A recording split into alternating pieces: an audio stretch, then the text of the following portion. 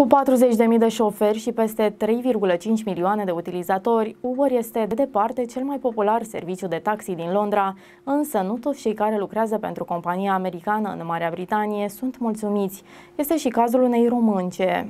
Conform știristul.com, când a ajuns prima dată în Londra, Elena visa să aibă o carieră uimitoare, care să-i permită să poarte haine elegante și să lucreze într-un birou, dar lucrurile nu au ieșit așa cum și-a propus. Londra m-a dezamăgit, a spus ea. Alarma ei sună la 4.30 dimineața, iar la 5.30 pornește aplicația Uber. Este prea periculos ca o femeie să conducă noaptea. 6 din 7 sau câteodată 7 din 7 dimineți pe săptămână, ziua mea începe astfel, a adăugat ea. În România, Elena se ocupa de contractele clienților pentru compania de electricitate Enel. Adevărul este că am avut o viață mult mai bună în România, mărturisește ea. Este adevărat că în Londra câștigă între 300 și 600 de lire pe săptămână înainte de impozitare, față de salariul mediu lunar de 600 de lire sterline din România. Dar în Londra cheltuielile ei, chiria, mașina, benzina, mâncarea, contractul de telefon telefon sunt mult mai mari. Dacă ne pierdem locul de muncă, nu vom putea plăti pentru mașinile și telefoanele noastre. Stres, epuizare, bani. Aceste lucruri nu sunt niciodată departe de multe dintre gândirile unui londonez, dar pentru Elena este diferit. Londra este un oraș al sclavilor. Se fac bani atât cât să supraviețuiești și nu mai mult.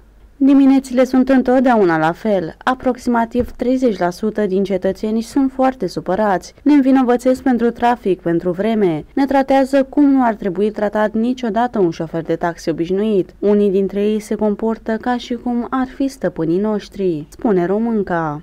Cursele pe care le face dimineața și care îi plac Elenei sunt cele de la sfârșit de săptămână. Îți voi spune un lucru care îmi place. Bețivii liniștiți. Ei cântă și râd. Chiar și cei care sunt supărați se liniștesc când vine dimineața. Lumina zilei îi calmează pe toți, a mărturisit Elena. Tânăra a avut parte de-a lungul celor trei ani de când lucrează în Londra și de situații neplăcute când oamenii pe care îi ducea din punctul A în punctul B deveneau violenți, înjurau și se legau de faptul că e imigrantă. Un astfel de episod a făcut odată să plângă și să vrea acasă. La sfârșitul zilei se duce acasă, are câteva ore libere în care își plimbă câinele și stă cu iubitul ei care se pregătește să intre în tura de noapte tot la Uber. Ceea ce avem noi în Londra nu este viață, a spus Elena. Salariile în lire sterline le-au făcut cu ochiul, dacă nu tuturor, atunci la 99,9%